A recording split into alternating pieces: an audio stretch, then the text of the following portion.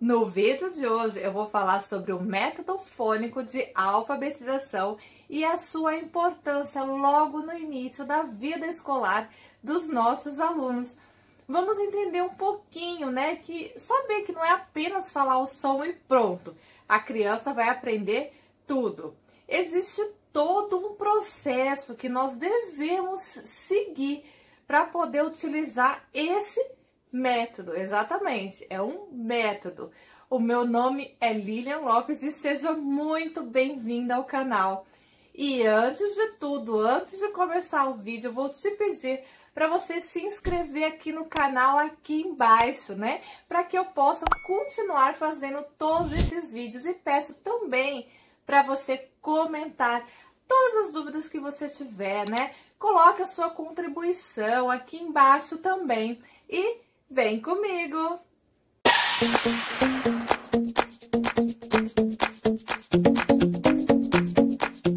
Então vamos lá, gente. Eu vou fazer uma breve introdução aqui, tá? Uma introdução rápida para a gente entender um pouquinho.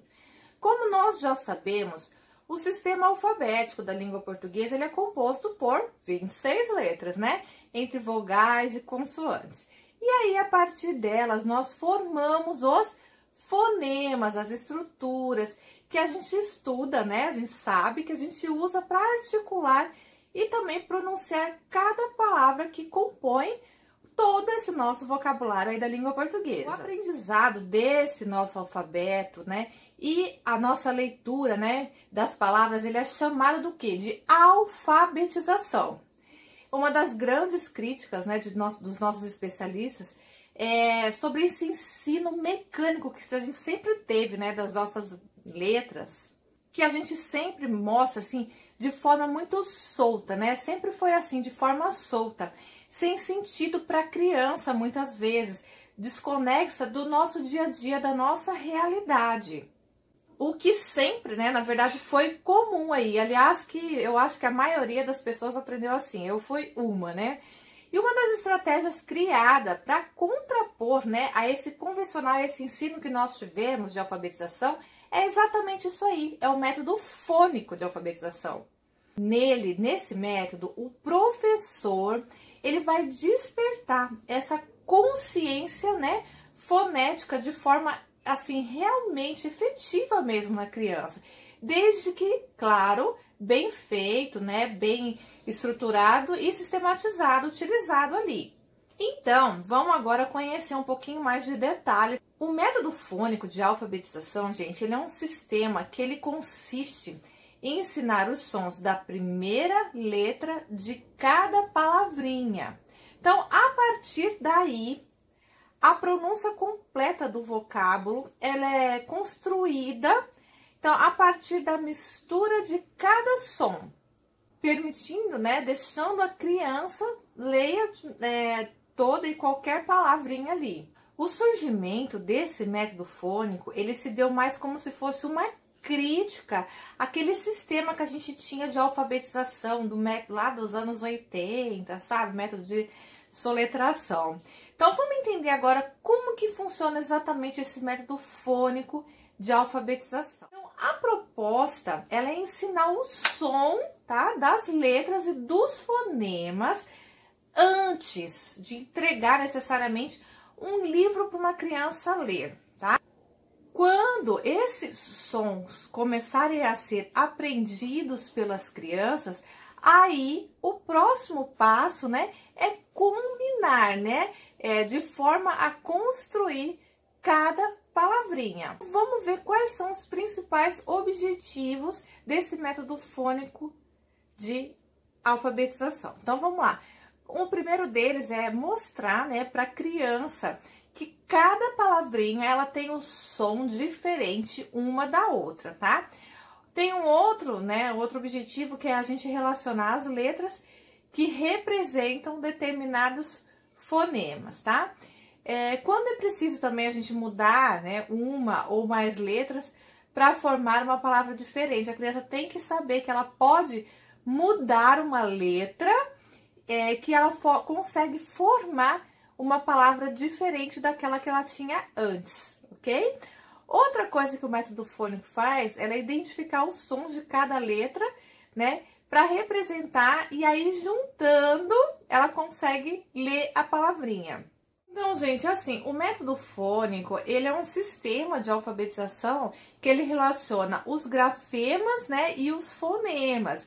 E tem muitas maneiras que a gente pode é, aplicar esse método fônico. E se a gente aplicar de uma forma correta, eficaz, a gente pode beneficiar qualquer tipo de aluno, principalmente se a gente aplicar de forma sistemática e não assim casualmente, sabe? Ah, vou aplicar e pronto. Não, se você fizer o um método aí você consegue realmente ser eficaz naquele método ali. Para isso, você precisa aplicar na sala de aula, né? Tendo suportes, tendo materiais adequados, tá? É, diferentes, né? Por exemplo, alfabetos móveis, é, letras, textos desenvolvidos certinhos para aquilo, né? Com critérios semânticos corretos para aquele sistema, aquele método de ensino fichas, lista de palavras certo para aquele método, certo? Então, eu vou falar um pouquinho do passo a passo, como que a gente pode aplicar o método fônico de alfabetização, tá? Então, o primeiro passo do método fônico é ensinar as letras através dos seus sons, tá? Então, vamos lá, como que é o mais indicado? O mais indicado é a gente começar por histórias criadas para ajudar a criança a a identificar a relação que existe entre a grafia, ou seja, o jeito de escrever, e o som, tá? Então, é a letra e o som. Então, como é que funciona isso? Então, o alfabetizador, o alfabetizador né, a gente mostra a letra, a le, mostrou a letra e mostra o som daquela letrinha. Depois, a gente vai é, citar alguns exemplos, né, de como que é a, o nome, como que se inicia o nome, tá? Então, justamente aquela letrinha que você está trabalhando. Por exemplo, meu nome é Lilian, então você põe né, o L, mostra o L. Aí você mostra vários exemplos de palavras que começam com a letra L. Então, é lápis, né? Coisas do cotidiano da criança, tá bom? Livro, né? Então, você vai mostrando a letra L e vai relacionando o L com as com palavras que tem a letra L, né, principalmente inicial. E isso você pode fazer, gente, independente se ele já souber todo o alfabeto. Então, por exemplo, eu falei de Lilian porque eu sou a professora Lilian. Então, mesmo que ele não souber o alfabeto completo, ele tá ali, a professora, ele quer saber a letra do nome da professora. Então, você pode começar com a letra L, tá bom? Não tem problema nenhum. Precisa começar o A, depois o B, depois o C, tá? Vai começando com o cotidiano mesmo ali dele. Aí, se você percebeu que ele já aprendeu uma boa parte dos fonemas ali, de, de, alguns fonemas, você pode, uma sugestão, claro, é começar com o alfabeto móvel, usar letras soltas, tá? Pede que o aluno, de repente, forme ali palavras, tá? Com, com aquele alfabeto móvel, do jeito que ele souber formar ali as palavrinhas. E aí você estimula que ele forme as palavras e pronuncie o som de cada letra, uma por uma daquela palavra que ele formou. Daí, em seguida, você pede para a criança combinar os sons, né, que ela pronunciou, é, de forma que, que ela gere a pronúncia é, completa, sabe? Completinha daquela palavra. Então, o ideal, gente, é usar no início, né, palavras simples, claro, né? no máximo assim de duas sílabas, até que você sinta a segurança para que ela fale palavras, fale palavras maiores, né? E aí, de acordo com que ela vai evoluindo, você pode inserir vocábulos, né, maiores, mais complexos, de repente com dígrafos, né, é, diferenças de Z e S, né, e particularidades, claro, da nossa língua. Então, é importante que você revise, né, as combinações que ele já aprendeu e vai ampliando de acordo com a capacidade do seu aluno leitor, assim, de forma gradativa, né? E aí mais você vai perguntar, e aí Lilian, quanto tempo que esse método fônico, né, ele leva para eu alfabetizar ali é, o meu aluno? Gente, mas é assim, como qualquer processo de alfabetização, né, gente? O método fônico, ele, ele vai depender muito de cada aluno, né, de cada situação, de cada contexto ali. Então, nós precisamos ter em mente que quando a gente vai alfabetizar, alfabetizar uma criança, ele é, um, é um, todo um processo, né? Ele é complexo. Então, é, é um desafio que a criança vai estar tá ali superando todos os dias. Então, inclusive, tem três deles que, que a criança ele precisa desses desafios, precisa superar ali, né? Todos os dias para aprender a ler.